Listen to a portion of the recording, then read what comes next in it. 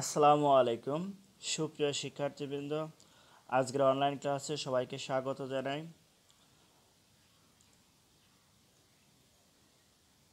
আজকের অনলাইন ক্লাসের বিষয় ফ্রেমিং ডাব্লিউএস কোশ্চেন এর দ্বিতীয় আলোচনা। সুপ্রিয় শিক্ষার্থীবৃন্দ, যারা চতুর্থ এবং পঞ্চম শ্রেণীতে পড়ো, আজকের ক্লাসটি তাদের জন্য গুরুত্বপূর্ণ। তোমরা জানো যে পরীক্ষা এখান থেকে তোমাদের দশ মার্কের কোশ্চেন হয়। যার কারণে আমাদের এই বিষয়ের উপর অতীব যথেষ্ট গুরুত্ব দেওয়ার অবকাশ আছে। সুপ্রিয় শিক্ষার্থীবৃন্দ, আমি গতদিন এই ডাব্লিউএস কোশ্চেনের একদম প্রাথমিক পার্ট এবং হু এবং হোয়াট হুইস এগুলোর ব্যবহার দেখিয়েছি এবং এটা যখন সেন্টেন্স সাবজেক্ট দিয়ে শুরু হয়, সেই সময়ে, অর্থাৎ সাবজেক্টের নিচে যখন আন্ডারলাইন করা থাকে, সেই সময় কীভাবে ডাব্লিউএস কোশ্চেন তৈরি করতে হয়, সেই বিষয়গুলো দেখিয়েছি। তার আগে আমি আলোচনা করেছিলাম অ্যাসাটিভ সেন্টেন্স এবং কীভাবে এই অ্যাসাটিভ সেন্টেন্স গঠন করতে হয়। এবং সুপ্রিয় শিক্ষার্থীবৃন্দ তোমরা অবশ্যই বুঝতে পেরেছ বা ইতিমধ্যে বুঝতে পেরেছ যে আমাদের কেন প্রত্যেকটা সেন্টেন্স সম্পর্কে সম্যক ধারণা থাকা দরকার। এবং সেন্টেন্স সম্পর্কে যদি ধারণা থাকা, থাকে, তাহলে এইগুলো আমাদের কি কি কাজে লাগতে পারে, সেইগুলো তোমরা বুঝতে পেরেছ। যার কারণে প্রথম দিনেও আমি অ্যাসাটিভ সেন্টেন্সগুলো বুঝিয়ে তারপরে ডাব্লিউএস কোশ্চেন তৈরির তে হাত দিয়েছিলাম। এখন যেহেতু এটা দ্বিতীয় ক্লাস আমরা সরাসরি ডাব্লিউএস কোশ্চেনে চলে যাব এবং আজকে আমরা শিখব যে যে বিষয়গুলো যেমন হোমের ব্যবহারটা দেখব, তারপরে হাউ হোয়াই হোয়ার হোয়েন এইসব ডাব্লিউএস কোশ্চেনগুলোর ব্যবহার দেখব। সুপ্রিয় শিক্ষার্থীবৃন্দ, তাহলে সবার মনোযোগ এবং সবার দৃষ্টি আকর্ষণ করছি। সবাই ক্লাসটি মনোযোগ সহকারে দেখো। আর যারা প্রথম ক্লাসটি দেখতে ইতিমধ্যে ব্যর্থ হয়েছ, তারা অবশ্যই প্রথম ক্লাসটা দেখে, তারপরে দ্বিতীয় ক্লাসটা দেখবে। আদারওয়াইজ তোমাদের বুঝতে অনেকটা কষ্ট হবে। সুপ্রিয় শিক্ষার্থীবৃন্দ, তাহলে let's let's starts another class on W S question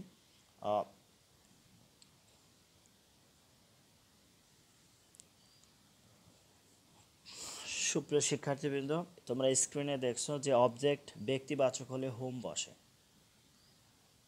তাহলে আমাদের এটা অবশ্যই মনে রাখতে হবে যে অবজেক্ট যদি ব্যক্তিবাচক হয়, তাহলে আমাদের কি ব্যবহার করতে হবে? Home so the structure is home যোগ or home plus auxiliary verb, plus subject plus main verb, plus extension plus প্রশ্নবোধক চিহ্ন। সুপ্রিয় শিক্ষার্থীবৃন্দ, এই যে গঠনটা আমি লিখেছি, পরবর্তী যতগুলোতে, যতগুলো সেন্টেন্স আসবে, সব সেন্টেন্সগুলোতে এই গঠনটা কাজে লাগবে। শুধুমাত্র ডাব্লিউএস কোশ্চেনটা পরিবর্তন হবে। কোথাও এই হোমের জায়গা হোয়াই বসবে, কোথাও হয়ার বসবে, কোথাও হাউ বসবে এবং বাকি যে স্ট্রাকচার আছে এটা কিন্তু পরিবর্তন হবে না। এটা এভাবেই থাকবে। যার কারণে স্ট্রাকচারটা মনে রাখাটা সবার জন্য গুরুত্বপূর্ণ। তাহলে অবজেক্ট ব্যক্তিবাচক হলে আমরা কি ব্যবহার করব? হোম। হোম শব্দের অর্থ হচ্ছে কাকে এবং এটা অবজেক্ট হিসেবেই সেন্টেন্সে ব্যবহার করা হয়। তাহলে হোম ব্যবহার করার পর আমরা অক্সিলারি ভার্ব ব্যবহার করব টেন্স অনুসারে। এমন হতে পারে যে সেন্টেন্সে অক্সিলারি ভার্ব আছে, সেটাও আমরা ব্যবহার করতে পারি। তারপরে সাবজেক্ট নিব আমরা, তারপরে মেইন ভার্ব যদি সেন্টেন্সে থাকে সেটাই নিব, না হলে দরকার নেই। প্লাস এক্সটেনশন তারপরে প্রশ্নবোধক চিহ্ন।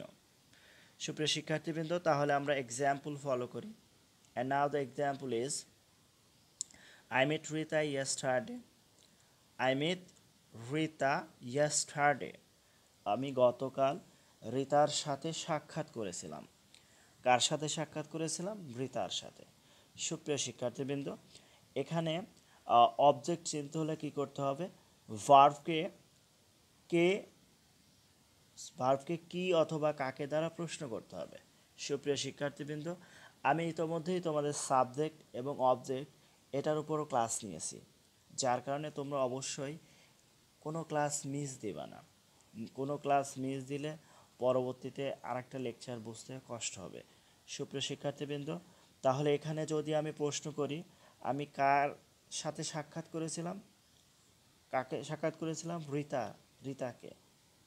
তাহলে রীতা হচ্ছে এখানে সাবজেক্ট সরি অবজেক্ট এবং দেখো রীতাটা হচ্ছে একটা ব্যক্তিবাচক বোঝাচ্ছে পার্সন ব্যক্তিবাচক হয়ে গেছে।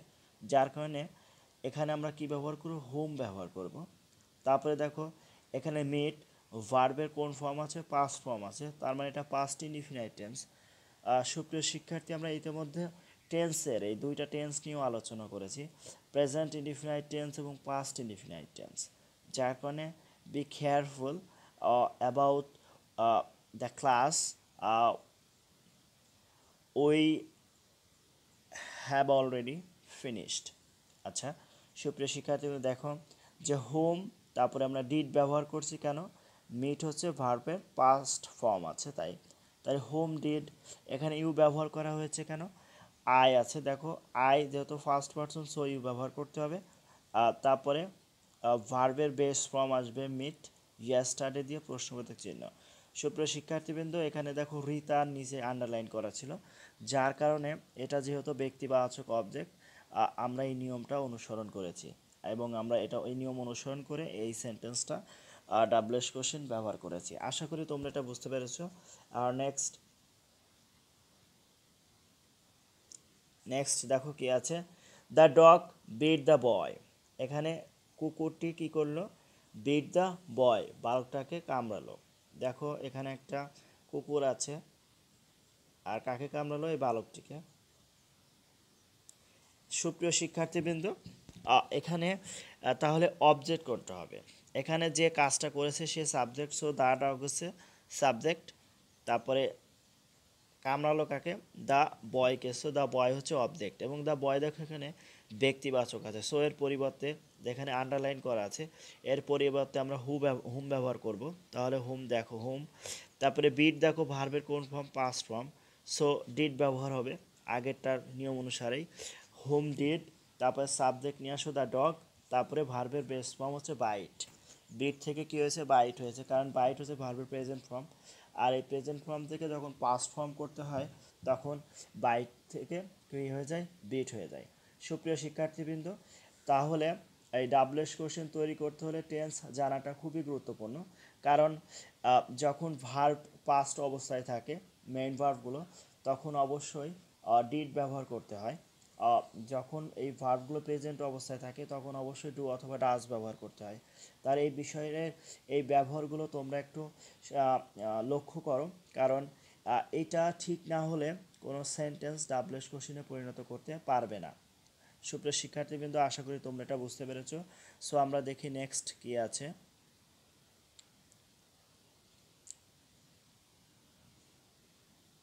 অবজেক্ট বস্তুবাচক বা বিষয় সম্পর্কে হলে হোয়াট অবজেক্ট যদি বস্তুবাচক বা বিষয় সম্পর্কে হয়, তাহলে হোয়াট হবে? স্ট্রাকচার দেখো হোয়াট যোগ অক্সিলারি ভার্ব যোগ সাবজেক্ট যোগ মেইন ভার্ব যোগ এক্সটেনশন শুধুমাত্র দেখো অক্সিলা সে পরিব- পরিবর্তন হয়েছে। ডাবলুএস কোশ্চেন পরিবর্তন হয়েছে। আর সবগুলোর, আর সব কিছু কিন্তু ঠিক আছে স্ট্রাকচার ঠিক আছে। এখন দেখি আমরা প্রথম এক্সাম্পল কী আছে? আই লাইক সুইমিং আমি সুইমিং পছন্দ করি। এখানে দেখো সুইমিং বস্তুবাচক বোঝাচ্ছে, যার কারণে হোয়াট ব্যবহার করেছি, হোয়াট হয়েছে। তারপরে ভার, এটা প্রেজেন্ট টেন্স আছে, সো ডু ব্যবহার করেছি, হোয়াট ডু অ্যান্ড আয়ের পরিবর্তে ইউ ব্যবহার করা হয়েছে, what do you like? Like হচ্ছে ভার্বের বেস ফর্ম। সুপ্রিয় শিক্ষার্থীবৃন্দ, তাহলে অবজেক্ট বস্তুবাচক বা বিষয় সম্পর্কে হলে আমরা কি ব্যবহার করব? হোয়াট? তাহলে দেখো এখানে সুইমিং নিচে আন্ডারলাইন করা আছে, সো আমরা হোয়াট ব্যবহার করেছি। তারপরে কেন ডু ব্যবহার করেছি? বাক্যটা প্রেজেন্ট ইনডিফিনাইট টেন্স আছে। আর প্রেজেন্ট ইনডিফিনাইট টেন্সের সাহায্যকারী ভার হিসেবে ডু বা ডাজ আছে। তো এখানে ভার্বের সাথে এস বাই এস হলে ডাজ অন্য ক্ষেত্রে ডু আসবে। সো হোয়াট ডু এবং আই থেকে ইউ হয়েছে হোয়াট ডু ইউ লাইক তাহলে তোমরা এটা বুঝতে পেরেছ। আমরা দেখো, এরপরে কি দেখাচ্ছে? এখানে সাঁতার কাটছে সেটার একটা ছবি দেওয়া আছে। And now the second example is here he presented me a pen কে আমাকে কলম উপহার দিয়েছে, দেখো। এই ব্যক্তিটা, he presented me a pen এখানে পেন হচ্ছে বস্তুবাচক বোঝাচ্ছে, যার কারণে এর পরিবর্তে আমরা হোয়াট ব্যবহার করব এবং প্রেজেন্টেড শব্দটা পাস্ট ইনডিফিনাইট টেন্স আছে সো ডিড ব্যবহার করব। কারণ আমাদের স্ট্রাকচারে বলা আছে হোয়াট নেয়ার পরে অক্সিলারি ভার্ব আনতে হবে। এটা টেন্স অনুসারে সেন্টেন্সে থাকতেও পারে, আবার নিয়ে আসাও লাগতে পারে। তো এখানে নাই, যার কারণে অক্সিলারি ভার্ব নিতে হয়েছে। সো ডিড এসেছে হোয়াট ডিড তারপরে সাবজেক্ট হি তারপর প্রেজেন্ট ভার্বের বেস ফর্ম আসবে, তারপরে প্লাস বাকি অংশ এখানে মি মির কারণে ইউ হয়েছে লাস্টে প্রশ্নবোধক চিহ্ন। নেক্সট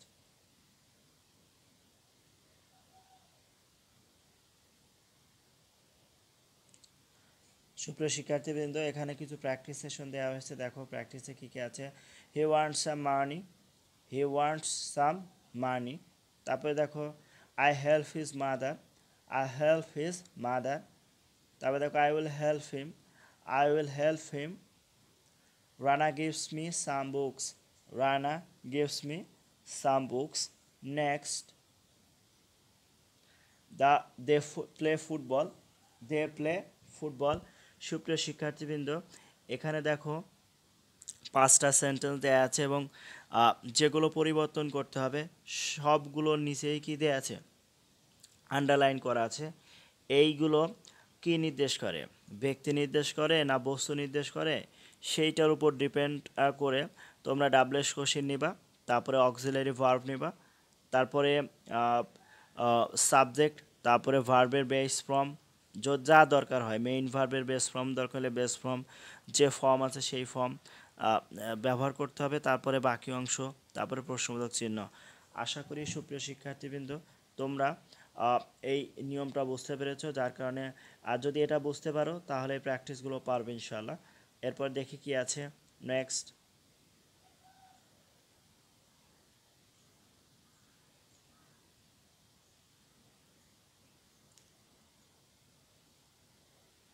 কোনো কিছু জানতে চাইলে হোয়াট ব্যবহার করা হয়। কোনো কিছু জানতে চাইলে হোয়াট ব্যবহার করা হয়। অর্থাৎ এই জানতে চাওয়া বলতে কে কি কাজ করে সেই বিষয়ে জানতে চাওয়া। সেরকম জানতে চাইলে আমরা কি ব্যবহার করব? হোয়াট ব্যবহার করব। And now you should follow the structure what plus auxiliary plus subject plus main verb plus extension plus প্রশ্নবোধক চিহ্ন। সো ডিয়ার স্টুডেন্টস কী কী পরিবর্তন লক্ষ্য করছ? অবশ্যই তোমরা এটা বুঝতে পেরেছ যে শুধু আমাদের ডাবলেস কোশ্চেনগুলো পরিবর্তন হচ্ছে, আর বাকি স্ট্রাকচার কিন্তু একই থাকছে। যার কারণে স্ট্রাকচারটা মনে রাখা তোমার জন্য খুব বেশি কঠিন হওয়ার হবে না, এটাই প্রত্যাশা করি। আমরা এখন একটা এক্সাম্পল দেখি যে হি রানস এখন সে দৌড়ায়, দেখো একটা ছবিতে হি রানস সে দৌড়ায়। এখন সে কি করে? আমরা যদি প্রশ্ন করি, এটার অর্থ হচ্ছে কোনো কিছু জানতে চাচ্ছে। এ ধরনের যদি এভাবে যদি বলে, সেক্ষেত্রে আমরা প্রথমে অক্সিলারি ভার্ব কী নেব? সরি প্রথমে নেব ডাবলুএস কোশ্চিন হোয়াট নিব? কারণ দেখো রানস অর্থাৎ এ ধরনের সেন্টেন্সে যেটা জানতে চাই মূলত এটা ভার্বের নিচে কী করা থাকবে? আন্ডারলাইন করা থাকবে। যার কারণে আমরা প্রথমত হোয়াট নিব, তারপরে অক্সিলারি ভার্ব আসবে। এখানে দেখো ভার্বের সাথে এর যোগ আছে সো ডাজ আসবে। হোয়াট ডাজ তারপরে সাবজেক্ট আছে কি? হি তারপরে ভার্বের বেস ফর্ম হচ্ছে রান এবং প্রশ্নবোধক চিহ্ন। So the answer is what does he do what does he do এখানে আমরা যেহেতু রানসের নিচে দাগ আছে সো এ রানস আর ব্যবহার করতে পারব না। এর পরিবর্তে আমরা ডু ব্যবহার করব। এর পরিবর্তে আমরা কি ব্যবহার করব? Do so what does he do সে কি করে? সে কি করে? আশা করি সুপ্রিয় শিক্ষার্থীবৃন্দ তোমরা আমার এই কথাগুলো বুঝতে পেরেছ, যার কারণে আমরা এই নিয়ম এ স্ট্রাকচার এক্সাম্পল থেকে আরেকটা এক্সাম্পলের দিকে যাচ্ছি। যেমন the boy will sing a song বালকটি কী করছে? গান করবে, একটি গান করবে। সো দ্য আনসার ইজ এখানে দেখো, এখানে বালকটি, এখানে জেমস জেমস আসলে গান করছে, দেখো। তাহলে এটার উত্তর আসবে কি? What will the boy do কেন এরকম হবে? এখানে দেখো সিং অর্থাৎ যে ভার্ভ আছে মেইন ভার্ভ তার নিচে আন্ডারলাইন করা আছে যে বালকটি কি করে জানতে চাচ্ছে। যার কারণে যেহেতু এটা ভার্বকে মডিফ বোঝাচ্ছে, সেজন্য এর পরিবর্তে আমরা হোয়াট ব্যবহার করব। তারপর অক্সিলিয়ারি ভার্ব দেখো সেন্টেন্সে আছে উইল সো উইলটা ব্যবহার করো হোয়াট উইল তারপরে সাবজেক্ট নেও দ্য বয় তারপরে যেহেতু ভার্বের নিচে আন্ডারলাইন করা থাকলে ডু বসে সো ডু ব্যবহার করো। সো আশা করি তোমরা এটা বুঝতে পেরেছ। এক্ষেত্রে এটা স্ট্রাকচারটা অবশ্যই মনে রাখো। প্রথমে হোয়াট তারপর অক্সিলারি ভার্ব এরা সেন্টেন্সে থাকতেও পারে অথবা টেন্স অনুসারে নেওয়া লাগতে পারে। তারপরে সাবজেক্ট তারপরে মেইন ভার্ব হিসেবে ডু ব্যবহার করবা। মেইন ভার্ব হিসেবে কী ব্যবহার হবে? ডু প্লাস বাকি অংশ যদি লাগে, তারপর প্রশ্নবোধক চিহ্ন। নেক্সট স্থান জানতে কি ব্যবহার করতে হয়? হয়ার ব্যবহার করা হয়। স্থান জানতে আমরা কি ব্যবহার করব? হয়ার ব্যবহার করব। হয়ার শব্দের অর্থ হচ্ছে কোথায় বা যেথায়। Now the students you should follow the structure structure হচ্ছে where plus auxiliary verb plus subject plus main verb plus extension অর্থাৎ যদি কোনো স্থানের নিচে দাগ থাকে বা আন্ডারলাইন করা থাকে, সেক্ষেত্রে আমরা ওইটুকুর পরিবর্তে আমরা হোয়ার ব্যবহার করব। তারপরে অক্সিলারি ভার্ভ যদি সেন্টেন্সে থাকে, সেইটাই নিব। না হলে টেন্স অনুসারে আনতে হবে। তারপরে সাবজেক্ট ব্যবহার করব। তারপরে মেইন ভার্ভ তারপরে এক্সটেনশন দিয়ে প্রশ্নবোধক চিহ্ন। So you should follow the example he lives in Kushtia, সে কোথায় বাস করে? হি লিভস ইন কুষ্টিয়া, সে কুষ্টিয়ায় বাস করে। এখানে দেখো কুষ্টিয়ার নিচে কি করা হয়েছে? আন্ডারলাইন করা হয়েছে এবং কুষ্টিয়া হচ্ছে একটা স্থানের নাম। যার কারণে আমরা ব্যবহার করব প্রথমত হয়ার ব্যবহার করব, তারপরে ভার্বের সাথে যেহেতু ইয়েস যোগ আছে সো ডাজ নিয়ে আসব। আর আমরা জানি যে ভার্বের সাথে এস বাই এর যোগ থাকলে অক্সিলারি ভার্ব হিসেবে অবশ্যই কী আসবে? ডাজ আসবে। সো হোয়াট ডাজ তারপর সাবজেক্ট নিবা হি হোয়াট ডাজ হি তারপরে ভার্ভের বেস ফর্ম হচ্ছে লিভ কারণ ডু ডাজের পরে ভার্ভের কোন ফর্ম বসে? বেস ফর্ম আবার মডেল ভার্ভের পরেও ভার্ভের কোন ফর্ম বসে? Base form so the answer is where does he live এখানে কুষ্টিয়ার পরিবর্তে আমরা হোয়ার ব্যবহার করেছি। তবে does he live where does he live সে কোথায় বাস করে? Second example is he will go to Dhaka he will go to Dhaka এখানে দেখো ঢাকার নিচে আন্ডারলাইন করা আছে। সো যথারীতি আমরা হোয়ার ব্যবহার করব।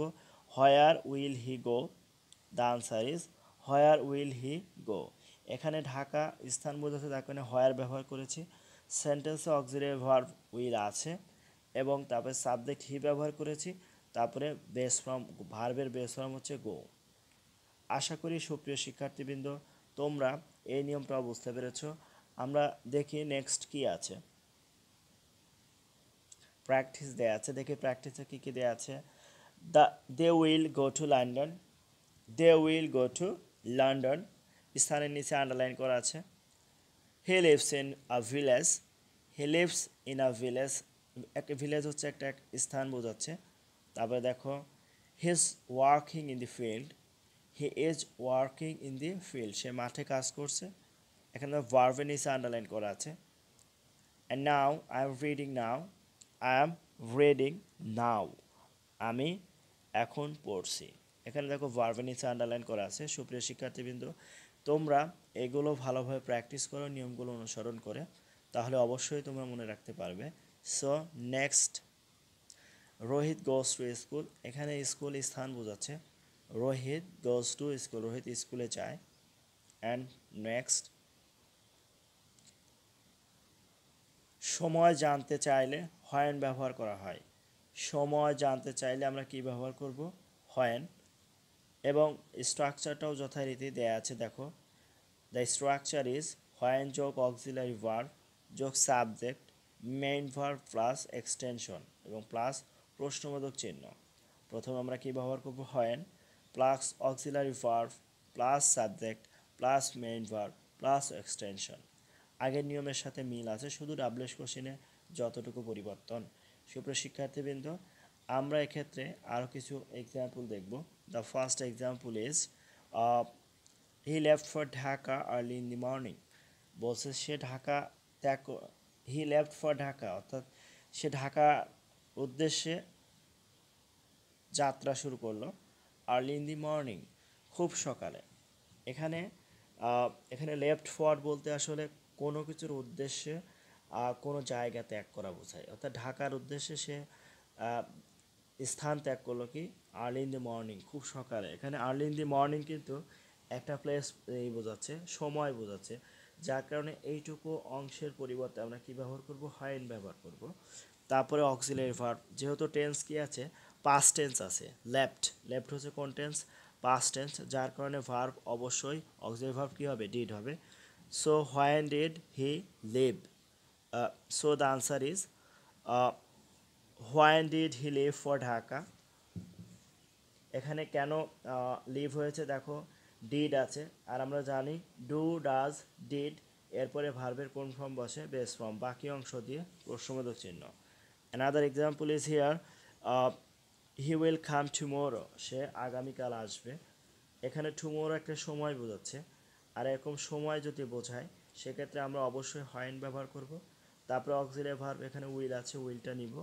তারপরে সাবজেক্ট হি তারপরে ভার্ব দিয়ে প্রশ্নবোধক চিহ্ন। So the answer is when will he come when will he come সুপ্রিয় শিক্ষার্থীবৃন্দ, আমরা ইতোমধ্যে কয়েকটা নিয়ম সম্পর্কে জানতে পেরেছি। আমরা আরও কিছু নিয়ম সম্পর্কে জানব। নাও নেক্সট কীভাবে কাজ সম্পূর্ণ হয়, সেক্ষেত্রে হাও ব্যবহার করা হয়।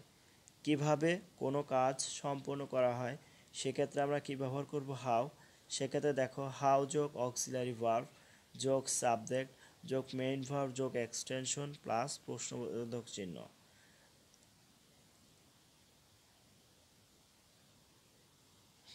I go to school on foot আমি পায়ে হেঁটে স্কুলে যাই। তাহলে কীভাবে স্কুলে যাই? পায়ে হেঁটে।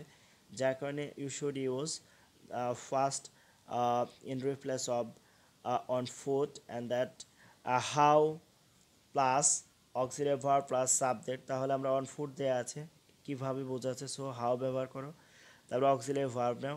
এখানে আই আছে এবং ভার্বের সাথে কোনো এসবে যোগ নেই। সো ডু হাউ ডু এবং আয়ের পরিবর্তে কি ব্যবহার করবা?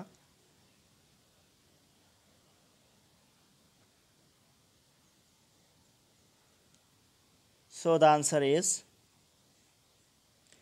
how do you go to school অর্থাৎ তুমি কীভাবে স্কুলে যাও? How do you go to school এখানে আয়ের পরিবর্তে দেখো ইউ ব্যবহার করা হয়েছে। আর এখানে যেহেতু গো আছে, যার কারণে আমরা ডু ব্যবহার করেছি, কারণ প্রেজেন্ট ইনডিফিনাইট টেন্সে ডু ডাস ব্যবহার করা হয় সাহায্যকারী ভার্ব হিসেবে। সেক্ষেত্রে ভার্বের সাথে এস বে যোগ থাকলে ডাস অন্য ক্ষেত্রে ডু ব্যবহার করতে হয়। আশা করি সুপ্রিয় শিক্ষার্থীবৃন্দ, তোমরা এই এক্সাম্পলটি বুঝতে পেরেছ। And another example is here he reached here by bus he reached here by bus এখানে বাই বাস আছে বাসে করে সে সেখানে পৌঁছেছিল। সো এটাও হাউ দিয়ে করতে হবে। কারণ কীভাবে পৌঁছেছিল এরকম প্রশ্ন করা যায়। সো হাউ তারপরে দেখো রেস্ট ইডি যোগ আছে। আর অবশ্যই পাস্ট টেন্স হলে কি ব্যবহার করতে হবে? Did so how did he reach here দেখো the answer is how did he reach here এখানে রিস আছে কারণ ডিড ব্যবহার করার কারণে পরবর্তী ভার্বের বেস ফর্ম হবে। পরবর্তী ভার্ব কী হবে? বেস ফর্ম হবে। So the answer is how did he reach here আশা করি সুপ্রিয় শিক্ষার্থীবৃন্দ, তোমরা এই এক্সাম্পলগুলো বুঝতে পেরেছ, নিয়মটাও বুঝতে পেরেছ। সো দেখি নেক্সট কি আছে? হাউ যোগ auxiliary plus subject plus extension এখানে বলছে যে বয়স, উচ্চতা, দৈর্ঘ্য গভীরতা ইত্যাদি জানতে হাউ ব্যবহার করতে হয়। কী কী জানতে? বয়স, উচ্চতা, দৈর্ঘ্য, গভীরতা ইত্যাদি জানতে হাও ব্যবহার করতে হয়। সুপ্রিয় শিক্ষার্থীবৃন্দ সেক্ষেত্রে হাউ যোগ অক্সিলার ভার্ব যোগ সাবজেক্ট যোগ এক্সটেনশন। এখানে একটু মিস্টেক হয়েছে সুপ্রিয় শিক্ষার্থীবৃন্দ, কারণ একটা এক্সাম্পল ব্যবহার করলে বোঝা যাবে যে এই যে বয়স, উচ্চতা, দৈর্ঘ্য, গভীরতা যে অটুকু দেয়া থাকবে, হাউ এর পরে ওইটুকু অবশ্যই ব্যবহার করতে হবে। আর যদি ব্যবহার করা না হয়, তাহলে প্রশ্নবোধক করাটা ভুল হয়ে যাবে। কারণ হাওয়ের পরে ওই বিষয়টা লিখে নাও তোমরা যে বয়স বা ওল্ড, উচ্চতা, হাইট দৈর্ঘ্য লেন্থ অ্যান্ড গভীরতা ডিপ এই বিষয়গুলো লিখতে হবে। হাওয়ের পরে এটা লিখতে হবে, তারপরে অক্সিলারি ভার্ব তারপরে সাবজেক্ট তারপরে এক্সটেনশন তোমরা এক্সাম্পল দেখলে বিষয়টা কি হবে? তোমাদের কাছে পরিষ্কার বা স্পষ্ট হবে। দেখো, যে দ্য এক্সাম্পল হচ্ছে হাউ ওল্ড আর ইউ এখানে হাউ ব্যবহার করেছি, কারণ বয়স আছে টোয়েন্টি সিক্স ইয়ার্স এরপরে দেখো ওল্ড শব্দটা ব্যবহার করেছি। যে ওল্ড আসছে হাউ ওল্ড কিন্তু আমরা হাওয়ের পরে এই এইগুলো ব্যবহার করিনি। অ্যাজেক্টিভগুলো ব্যবহার করা হয় নাই। সো ওল্ড হাউ ওল্ড কত বয়স আর ইউ তোমার, অর্থাৎ তোমার বয়স কত? আর ইউ এটা কেন কেন আর ইউ হয়েছে? এখানে ইউ হচ্ছে সাবজেক্ট কারণ আর জন্য আমরা ইউ নিয়েছি। আর এখানে অ্যাম না হয়ে, কারণ ইউ হচ্ছে আর গ্রহণ করে। প্লুরাল প্লুরাল ভার্ভ গ্রহণ করে। So the answer is how old are you second example is the tree is thirty feet high the tree is thirty feet high এখানেও হাই অ্যাজেক্টিভ যার কারণে আমাদের অবশ্যই এই থার্টি ফিট এর কারণে আমরা হাউ ব্যবহার করব তারপরে হাই নিব। যে how high how high is the tree how high is the tree এখানে হাউ এর পরে ওই অ্যাজেক্টিভ হাই উচ্চতা এটা ব্যবহার করেছি। তারপরে অক্সিলারি ভার্ব ইজ নিয়েছি, তারপরে সাবজেক্ট এবং শেষে প্রশ্নবোধক চিহ্ন। আশা করি সুপ্রিয় শিক্ষার্থীবৃন্দ, তোমরা এটা বুঝতে পেরেছ। আমি দেখব এরপরে কি আছে। সুপ্রিয় শিক্ষার্থীবৃন্দ নেক্সট প্র্যাকটিস দেখো কি কি আছে। যেমন my table is four feet long my table is four feet long এখানে দেখো ফোর ফিট আছে। তারপরে দেখো Seema is fourteen years old এখানে লাস্টে লং লং মানে হচ্ছে দৈর্ঘ্য বা লেন্থ যাই বলি ওল্ড মানে বয়স। And another example is the field is five hundred feet wide five hundred feet wide and now the pond is twenty five feet deep the pond is twenty five feet deep এবং যাদের নিচে underline করা আছে, সেইটাকে অনুসরণ করে তোমরা WS কোশ্চেনে পরিণত করো, সুপ্রিয় শিক্ষার্থীবৃন্দ। নেক্সট দেখে কি আছে। They will come here by bus they will come here তারা এখানে আসবে বাসে করে। তারা এখানে আসবে কিসে করে? বাসে করে। এখানে কিন্তু আগের নিয়মটা ফলো করতে হবে। সুপ্রিয় শিক্ষার্থীবৃন্দ, যে কীভাবে যদি বোঝায় তাহলে একটা নিয়ম দেওয়া আছে, দেখো। আর এখানে তো উল্লেখ করা আছে যে বয়স, সংখ্যা, উচ্চতা এরকম থাকলে এবং দৈর্ঘ্য থাকলে যে নিয়মটা হবে সেটা ফলো করব উপরে। আশা করি সুপ্রিয় শিক্ষার্থীবৃন্দ, তোমরা ডাব্লিউএস কোশ্চেনের অনেকগুলো নিয়ম ইতিমধ্যে জানতে পারলে। আমরা আরও একটা নিয়ম হয়তো বা আরও আছে নেক্সট দেখি কী নিয়ম। নেক্সট কারও পেশা জানতে চাইলে হোয়াট ব্যবহার করতে হয়?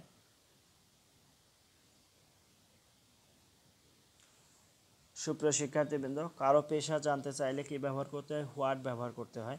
সেক্ষেত্রে এটার উত্তর এরকম হবে যে হোয়াট যোগ ভিভার ব্যবহার করবা, তারপরে এক্সটেনশন প্লাস প্রশ্নবোধক চিহ্ন।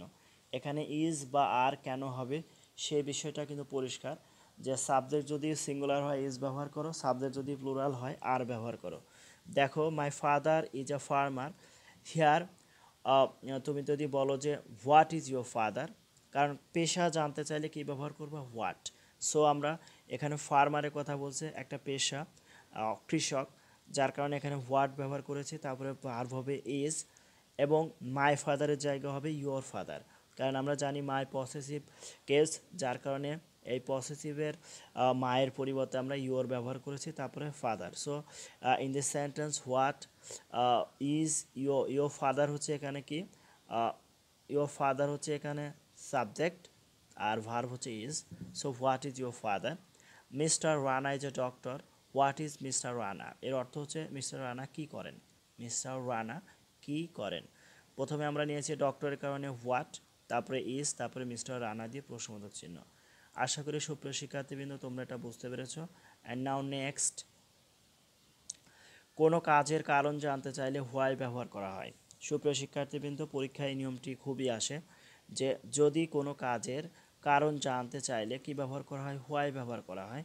সেক্ষেত্রে কীভাবে করতে হবে দেখো, প্রথমে why plus auxiliary verb plus subject plus main verb plus extension এখানে খেয়াল করো যে হোয়াই ব্যবহার করার পরে অক্সিলারি ভার্ভ টেন্স অনুসারে আসবে, তারপরে সাবজেক্ট তারপরে মেইন ভার্ভ তারপর বাকি অংশ প্রশ্নবোধক চিহ্ন। যেমন we should read books to gain knowledge আমাদের বই পড়া উচিত কিসের জন্য? জ্ঞান অর্জনের জন্য। তাহলে এই বই পড়ার একটা কারণ আছে, সেই কারণটা হচ্ছে জ্ঞান অর্জন করা। সো টু গেইন নলেজ এইটুকুর নিচে দেখো, যদি টু প্লাস ভার্ব সহ আন্ডারলাইন করা থাকে, তাহলে সেইটুকুর জন্য আমরা হোয়াই ব্যবহার করব। হোয়াই তারপরে আমরা প্রদত্ত সেন্টেন্সের যে সাহায্যকারী ভার্ব যদি থাকে সেটা নিব অথবা সাহায্যকারী ভার্ব আনতে হবে। তারপরে দেখো শুড আছে শুড নিয়েছি। হোয়াই শুড উই থেকে আমরা কি ব্যবহার করেছি? You why should you read books কেন তোমার বই পড়া উচিত? কেন তোমার বই পড়া উচিত? জ্ঞান অর্জনের জন্য উত্তর আসবে কি? টু গেইন নলেজ সেক্ষেত্রে এরকম থাকলে অবশ্যই আমরা এইভাবে প্রশ্নবোধক করব যে কোনো কাজের কারণ জানতে চাইলে হোয়াই ব্যবহার করা হয়। Another example is the practice এখানে প্র্যাকটিস শব্দটার বানান ভুল আছে, পরে আমরা অবশ্য ঠিক করেছি। The the practice English to improve their skill এখানে কিসের জন্য? ইংরেজি দক্ষতা বাড়াতে তারা ইংরেজি চর্চা করে। এখানে টু ইমপ্রুভ হচ্ছে, দেখো টু প্লাস ভার্ব আছে, যার কারণে এর পরিবর্তে আমরা হোয়াই ব্যবহার করেছি। তারপরে দেখো এটা present indefinite tense so do ব্যবহার করেছি। তারপরে they why do they practice main verb তারপরে ইংলিশ প্রশ্নবোধক চিহ্ন। সুপ্রিয় শিক্ষার্থীবৃন্দ, তাহলে তোমরা এই বিষয়টা যথোপযুক্তভাবে অনুসরণ করো এবং এটা কেন কারণ কারণটা কি সেই বিষয়টা বোঝার চেষ্টা করো। তাহলে অবশ্যই এটাও পারবে। পরীক্ষায় এই নিয়মটি খুবই আসে। সুপ্রিয় শিক্ষার্থীবৃন্দ, আমরা দেখব নেক্সট কি আছে। প্র্যাকটিস দেখো my mother is a housewife এটা একটা পেশা বোঝাচ্ছে। He rates well to pass in the exam he rest he rates well to pass in the exam to pass in the exam হচ্ছে একটা কারণ বোঝাতে দেখো। His brother is a banker এখানে ব্যাংকার হচ্ছে একটা পেশা। We work hard to earn more money we work hard to earn more money এখানে দেখো টু আর্ন মোর মানে হচ্ছে একটা কারণ যার কারণে আমরা কঠোর পরিশ্রম করি। He studied hard to secure good marks এখানে টু সিকিউর গুড মার্কস হচ্ছে একটা কারণ যার কারণে আমরা অনেক পড়াশোনা করি। সুপ্রিয় শিক্ষার্থীবৃন্দ, আশা করি তোমরা এই এক্সাম্পলগুলো প্র্যাকটি বাড়িতে স্ট্রাকচার দেখে বা নিয়মগুলো অনুসরণ করে চর্চা করবে। সুপ্রিয় শিক্ষার্থীবৃন্দ ডাবলেস কোশ্চেনের দ্বিতীয় অংশের আলোচনা এবং শেষ অংশে, দ্বিতীয় এবং শেষ অংশের আলোচনা এইমাত্র শেষ হলো। তোমাদের এখন যা প্রশ্ন, তোমাদের কাজ হবে নিয়মগুলো অনুসরণ করা, নিয়মগুলো বারবার প্র্যাকটিস করা। কারণ যথেষ্ট এবং পর্যাপ্ত, আমি কি দিয়েছি? এক্সাম্পল দিয়ে প্রত্যেকটা নিয়ম বোঝানোর চেষ্টা করেছি। পরবর্তীতে আমি প্র্যাকটিস করার জন্য কিছু সেন্টেন্স লিখে দিয়েছি। তোমরা বাসায় প্র্যাকটিস করো। সুপ্রিয় শিক্ষার্থীবৃন্দ যদি এগুলো প্র্যাকটিস করো তাহলে এই ডাবলেস কোশ্চেন নিয়ে ভবিষ্যতে তোমাদের কোনো সমস্যা হবে না। সেই প্রত্যাশা রাখি ইনশাআল্লাহ। আহ, সুপ্রিয় শিক্ষার্থীবৃন্দ সবাইকে ধন্যবাদ জানিয়ে আজকের ক্লাস শেষ করছি। আসসালামু আলাইকুম।